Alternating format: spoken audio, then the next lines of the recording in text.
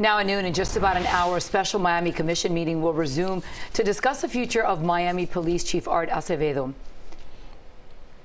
Good afternoon, everybody. I'm Keith Jones. Thanks for being with us once again. That first meeting was held earlier this week, and it quickly turned into a war of words. Yeah, commissioners are questioning some comments the chief has made, as well as hiring and firings in the department.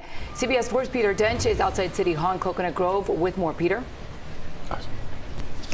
Well, Maribel and Keith, this will be a continuation of what happened on Monday when there was a truly contentious seven hour meeting about Chief Art Acevedo's performance. In the end, commissioners appointed themselves as committee members with subpoena powers to investigate the chief's performance.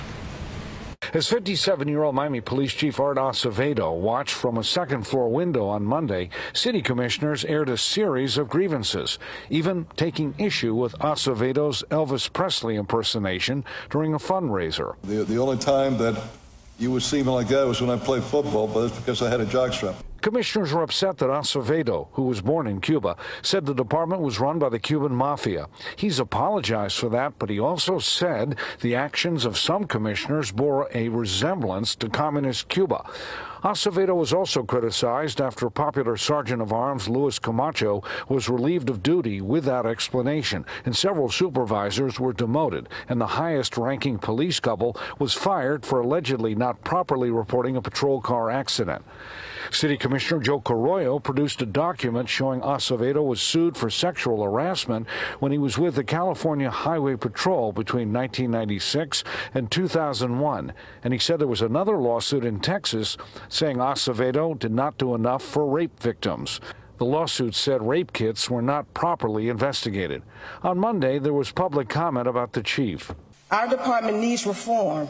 Chief, Chief Acevedo was brought here to institute reform, and he deserves the opportunity to do so. Mr. Acevedo's judgment and decision making have been suspect, rash, and calls into question his ability to effectively run the police department. Acevedo, in a memo, had lashed out at commissioners, accusing them of improperly influencing his police investigations.